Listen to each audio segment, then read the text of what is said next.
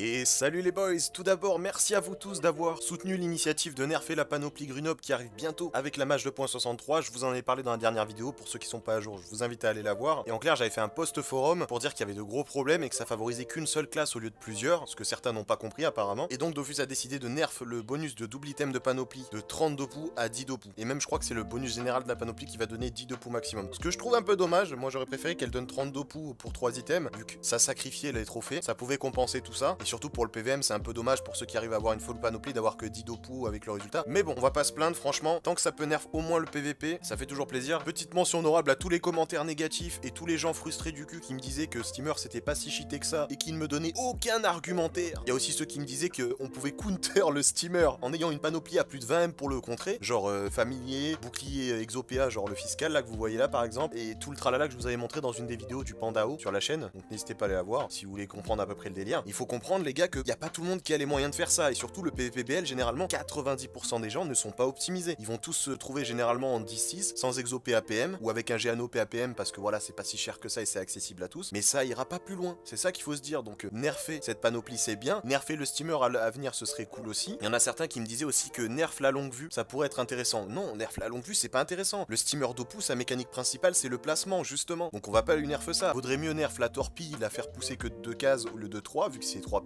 Quand même. Je trouverais ça beaucoup plus intéressant et ça ressemblerait au coup sournois du SRAM. Ce serait toujours intéressant à jouer avec un minimum de Dopu. Il faut pas exploser une mécanique juste pour son propre plaisir et parce que c'est fort dans une tranche de level précise. Les gars, il faut réfléchir, il faut se mettre des deux côtés de la barrière à chaque fois, du côté de la personne qui subit la classe et du côté de la personne qui va la jouer, tout simplement. Bref, les gars, je sais que je m'égare, mais c'était important à dire parce que j'ai eu pas mal de commentaires qui me disaient que c'était pas ouf, qu'il fallait pas modifier ça, que le steamer était pas cheat. Si, les gars, clairement, si. Là, je vous ai présenté la vidéo il y a peut-être un an ou deux ans sur la chaîne du steamer Dopu et dites-vous que je le jouais déjà il y a au moins un ou deux ans avant de vous l'avoir posté. Autant vous dire que je suis bien calé sur le sujet pour vous dire les points forts et les points faibles de la classe. Bref, aujourd'hui on part sur une classe qui a l'antithèse de la mobilité du steamer, le FK, qui dans cette tranche de level a une mobilité vraiment dégueulasse. On va pas se mentir, on a que la téléportation pour pouvoir avoir une mobilité supplémentaire comparée à nos PM actuels. Et là vous le voyez, j'ai que 5 PM, donc je me tire une balle dans le pied, j'en ai même pas 6. Mais l'avantage c'est qu'on va pouvoir taper à distance et que si l'ennemi est corps à corps, on va pouvoir l'entrave et vraiment bien le contrer au corps à corps. Vous allez voir. J'ai essayé de faire quelque chose de correct, mais il faut savoir que le FK est très difficile à build. Passage, vous allez voir que le retour du bâton est toujours en diagonale parce que la mise à jour n'est pas encore passée, la mise à jour 2.63. Mais bientôt, on va pouvoir faire un retour de bâton en ligne aussi. Donc ça veut dire que vous pourrez le placer beaucoup plus facilement. J'essaierai de vous faire pas mal de vidéos sur le FK en attendant que la mise à jour passe parce que je peux pas vous faire de vidéos sans plus, sous peine de vous faire une vidéo obsolète qui ne vous servira plus au bout d'une semaine. Alors que là, niveau 70, généralement, il n'y a pas trop de modifications. Le retour du bâton va être up, donc forcément, le stuff va être up. Donc il n'y a que du positif. Bref, je vous présente le FK terre, distance, retrait PA. Et on est parti pour la présentation du build. J'ai mis une amulette trop plante en ancien G, mais vous pouvez l'avoir en nouveau G, c'est pas grave. Et j'ai mis cette amulette au lieu d'un dé de la chance parce qu'elle nous donne de l'agilité, donc ça nous fait du tacle supplémentaire pour pouvoir paralyser certains adversaires qui ne jouent pas agi. Le Géano PAP au Vita pour un maximum de portée dans le stuff et pouvoir sniper l'adversaire. L'anneau clume ainsi que la ceinture clume pour le double item qui est pas impressionnant mais qui est déjà pas mal, qui nous donne 20 Vita, 10 de force. L'arc du pêcheur qui est un peu god tier dans cette méta et qui nous permet d'avoir de gros dégâts vu que l'arc tape très fort et avec la maîtrise on peut toucher les 250 dégâts. Pour comboter avec cet arc, j'ai mis le bouclier du Baobao, la portée, les dommages armes et même si l'ennemi vient en mêlée, là où j'aurais pu mettre un bouclier fiscal pour augmenter mes dégâts distance et euh, taper un peu plus à l'aveuglement et au bulle, mais on avait des faiblesses mêlées et je trouvais ça dommage donc j'ai préféré mettre le bouclier du Baobao sachant que nos sorts tapent pas énormément, c'est un peu comme l'Ossa que je vous avais présenté sur la chaîne où les sorts étaient pas forcément principales comparé au corps à corps et donc on peut se permettre de le mettre. J'ai mis la caracoiffe et la cape fulgu pour le 12 PA, les petites bottes Orino en ancien G, mais vous pouvez avoir un nouveau G, ça fera le café. Pour le Volcorn, ivoire et pourpre pour un maximum de force et le petit retrait PA qui permet de carry. Pour le slot de trophée Dofus, on a enfin le Dofus cacao qui devient viable dans ce stuff vu que le tacle est très important pour pouvoir paralyser certains adversaires et profiter de la barricade. Et donc là ça nous donne 10 de tac directement et en plus on a le passif du Dofus donc ça c'est excellent. On a aussi le Dofus Kawad pour augmenter le retrait PA et avoir un peu d'esquive pour pas se faire retirer le peu de PM qu'on a dans le build. La force puissance pour un maximum de damage. Le miraculeux pour avoir quand même pas mal de vita mais vous pouvez mettre un Dofus argenté, ça dépend des goûts et des couleurs. Et le petit observateur pour la portée. On est sur un 12-5, 2200 de vita, ça reste correct en Volcorn. On a plus de 600 de force avec la puissance, 40 retrait PA, 22 de tacle donc ça reste suffisant sachant qu'avec la torpeur on va pouvoir enlever de la fuite donc euh, c'est comme si on avait 42 de tacle après avoir touché l'ennemi avec deux torpeurs. Bref, on va tester ça directement en Coliseum. What the fuck les potes? Je joue FK, la classe la moins jouée du jeu,